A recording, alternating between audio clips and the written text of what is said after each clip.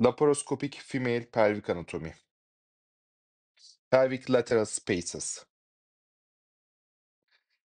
This is the right pelvic side wall, round ligament, anterior and posterior surface.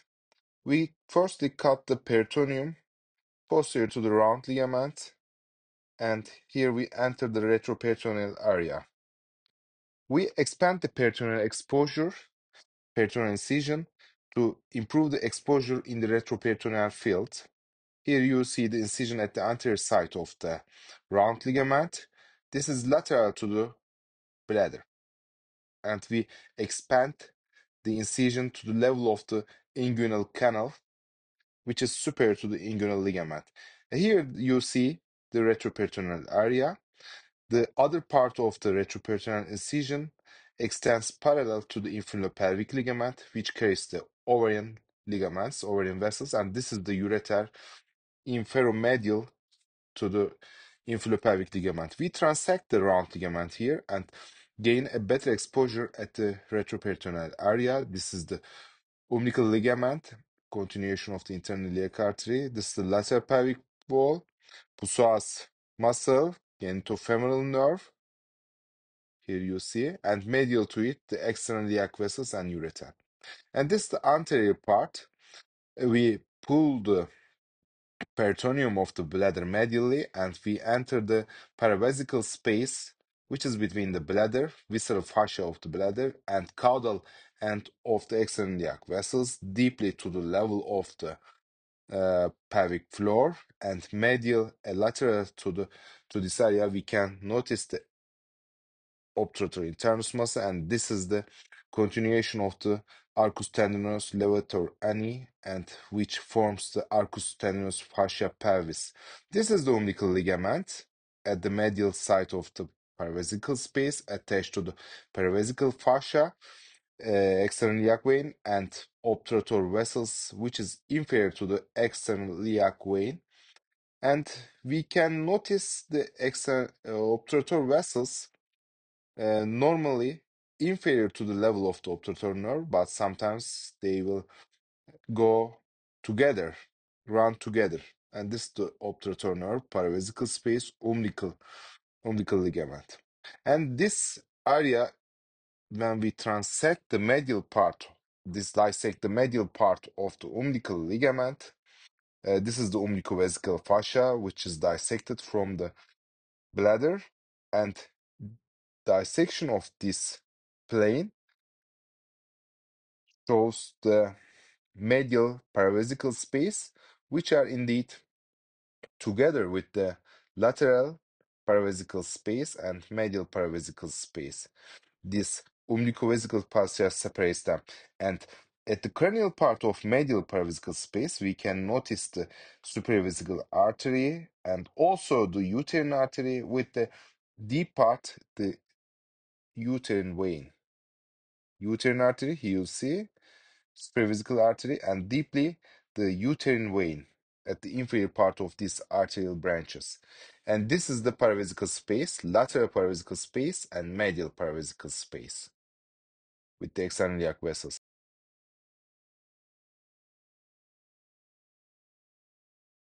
Is the posterior side. Here you can see the ureter, which is attached to the posterior leaf of the broad ligament, the genitofemoral nerve, psoas, and here, this is the external iliac vessels.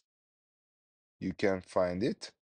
The ureter is crossing over them, and lateral to the ureter, when you make a dissection from the axis of the ureter, you will notice the internal iliac artery at the caudolateral part of the ureter, and between them, you may enter the pararectal space, which is lateral to the rectum. And when you enter the space, firstly widen the space. And here you can see we widen the space and go deeply.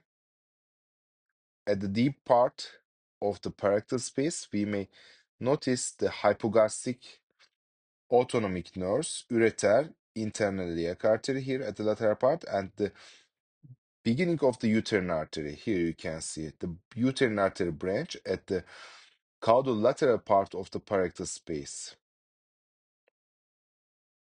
This is the internal iliac artery.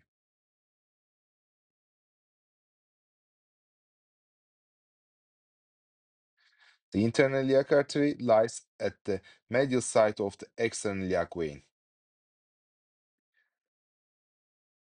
And this is the ureter.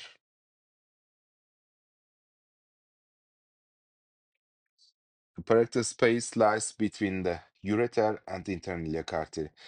The dissection at the superior part of the internal iliac artery reveals the uterine artery branch, which is a direct first branch from the internal iliac artery to the medial side. And here you can see the obliterated umbilical artery. The proximal part of the obliterated umbilical artery is a patent part. And deeply at the pararectal space, you may find the pelvic splanchnic nerves, which are arising from S2 for uh, spinal nerves, and they lie at the medial side of the internal iliac vein, and they merge with the hypogastric nerve to form the inferior hypogastric plexus. This is the internal iliac vein. Here you can see the pelvic splanchnic nerves can be separated from the from the internal iliac vein at the lateral portion of the rectum. And here you can notice the pelvic autonomic nervous system. This is the first area to identify the pelvic autonomic nerves in the pelvis, important for uh, nerve sparing pelvic procedures. And uh, the hypogastric nerve, this is the dissected area, lies two centimeters inferior to the ureter. And the pelvic splanchnic nerves have, uh, have tiny branches which will be easily injured during dissection. The ureterohypogastric fascia is the fascia which is the continuation uh, at the inferior portion of the ureter. When we dissect the ureter from the broad ligament posterior leaf, we develop a surgical plane at the medial side of the ureter. This plane has a fascial sheet which bears the hypogastric nerve at the inferior portion and die, uh, they lie in the uh, same axis.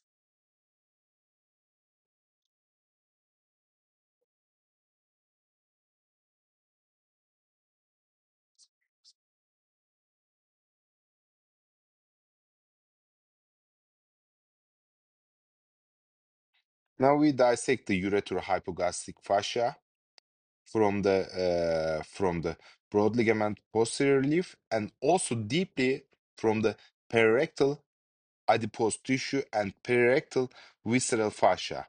And at the perirectal visceral fascia level, we may notice the hypogastric nerve. And if we dissect in the same long axis, we will dissect and lateralize the hypogastric nerve uh, from the perirectal uh, visceral fascia, perirectal adipose tissue.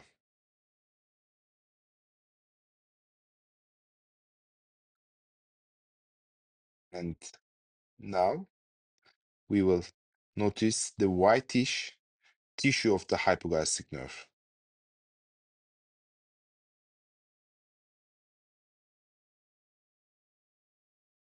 This is important for the sympathetic innervation in the pelvis, which is the continuation of the superior hypogastric plexus. And the superior hypogastric plexus is the extension of the thoracolumbar splanchnic nerves with contribution of L3 splanchnic nerve. And this is the pararectal space. The ureterohypogastric fascia divides the pararectal space into two parts.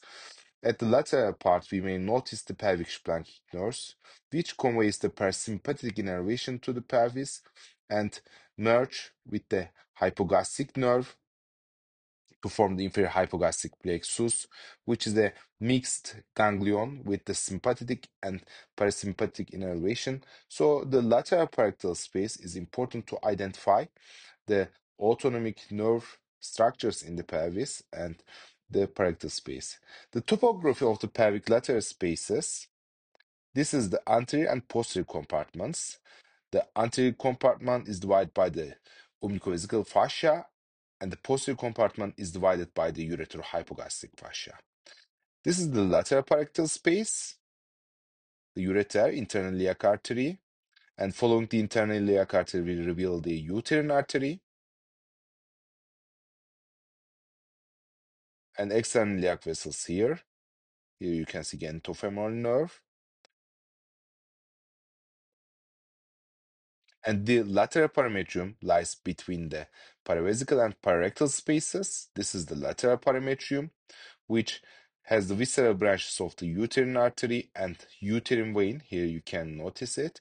This is the paravesical space, obturator vessels and obturator nerve the lateral paravesical space here, important for pelvic lymphadenectomy, and this is the umbilicovesical fascia and medial paravesical space. Lateral vascular plane, the medial psoas space, is important for the lumbosacral trunk.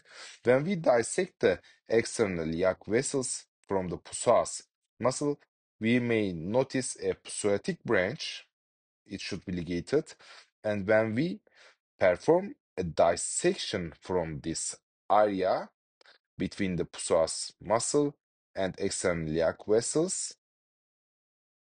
We may notice the obturator nerve that will that pierces the uh, that pierces the psoas muscle and extends to the pelvis.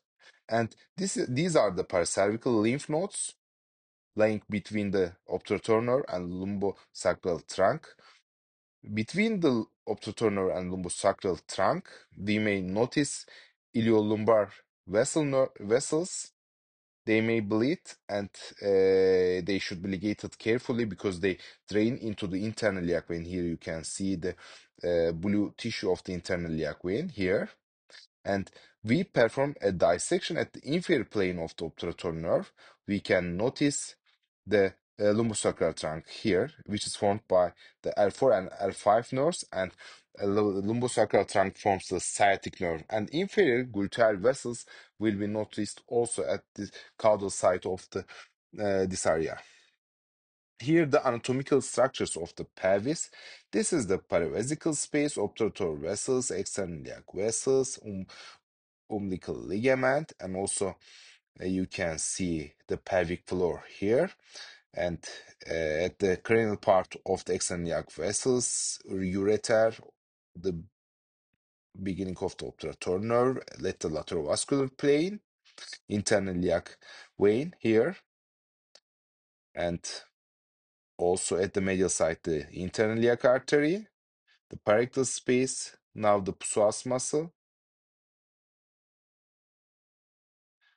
the caudal end of the iliac vessels, inguinal ligament, superior pubic ramus, obturator canal,